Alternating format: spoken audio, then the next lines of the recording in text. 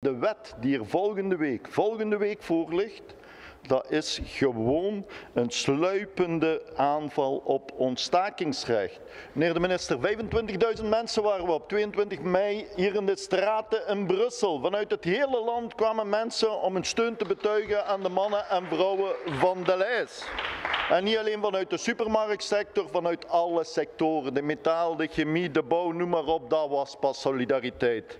Maar ze kwamen vooral op straat voor het recht op collectieve actie, hetgeen hier de laatste tijd toch wel op de helling staat in ons Belgelandje. Dat hebben we de laatste weken gezien bij de lijst, waar delegees gefouilleerd worden voordat ze in de ondernemingsraad terechtkomen. Delegees worden opgepakt, waterkanon klaarstaat, deurwaarders à volonté. En dat allemaal voor mensen die op een waardige, rustige manier opkomen voor waardige jobs en deftige lonen. Maar het is nog niet genoeg. Het is nog niet genoeg hier, want wat doet uw regering om deze mensen te steunen? Een wet op tafel leggen, een repressieve wet om de actievoerders een demonstratieverbod te kunnen opleggen.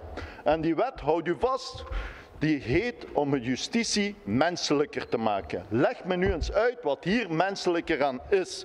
Collectieve acties nog meer aan banden leggen, mensen die opkomen voor hun rechten effectief criminaliseren. Gaat dit het bilan zijn van deze Vivaldi-regering? Van de liberalen weten we dat die de vakbonden willen aanpakken. Maar wilt u herinnerd worden dat deze, vak, deze Vivaldi-regering mee sociale actie criminaliseert? Meneer de minister, één duidelijk woord. Syndicalisten zijn geen terroristen.